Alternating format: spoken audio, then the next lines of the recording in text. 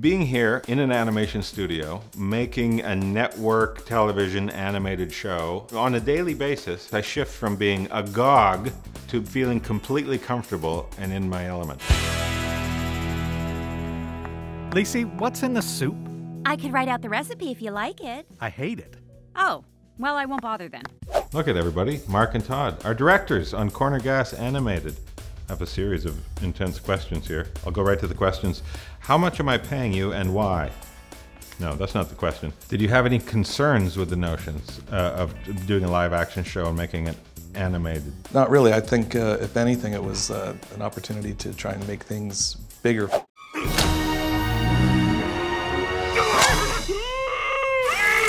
I do the voice directing with all the actors because I know the actors. We've gone through so much together. It's fun to see everybody become more animated while they're performing. Order! Law and order! It's one of those things you look forward to coming to work. It's not even work, it's playtime. It's awesome. I mean, you can just sort of like slip into your slippers and unbutton your button. There's a toe in my coffee. It's not coffee, it's soup. You brought me a coffee cup full of toe soup? You don't have time to get annoyed or sick of everybody. and that's actually not true. I was so sick of them the other day.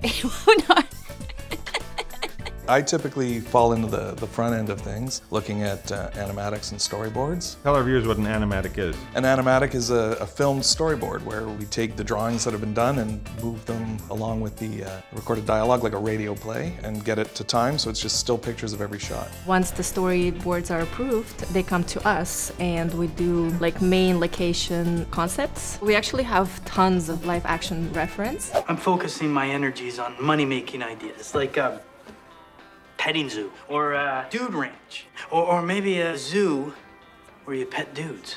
It's kind of like building a room. Then you start putting in like chairs and tables. So usually this is at something. That handsome devil. George Clooney for some reason in here. This is the type of background I will get, and then I will go in and add the details. And so this is the animation I'm getting, and so my job is to take this and then create a background around it. Hey, Emma, you got a band-aid? Probably. Um, I will take it to the painting stage as well. What a time to be alive. Exactly. Were you familiar with Corner Gas, the live action show, before working on this? I was familiar with the existence of Corner Gas, but there's not enough murder for me to be invested. Might be murder in this episode. There's Wanda holding a handgun. Well, there you go. Fingers You- crossed, Sasha. Hey, snazzy gun you got there. What is that, a Magnum? Colt 45? Pellet. How does an animation director differ from, you know, the series director? Uh, well, okay, so Aside from your better looking.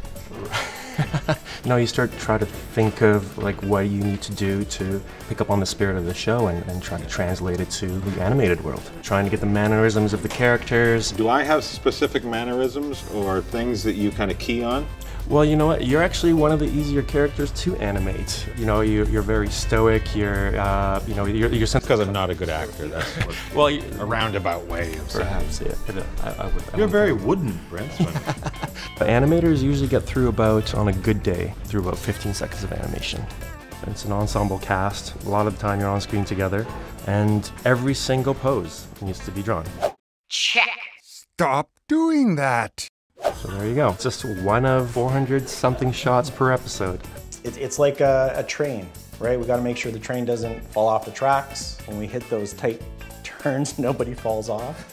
It feels like corner gas. I told you, you need a permit to place that potty within town limits. It feels the same, the characters are the same, the tone is the same. They've just captured these characters. I mean, I don't want to sound sappy or anything, but it opened that door. It's in my heart where all those people are that I love that are in Corner Gas. Here's the thing that makes me proudest. If you were a fan of Corner Gas, I really believe you're going to love the animated show. A hundred dune buggies pull up to a gas station, and you can't figure out what we want? Could have been soda. I'd love a soda. Shut up, you!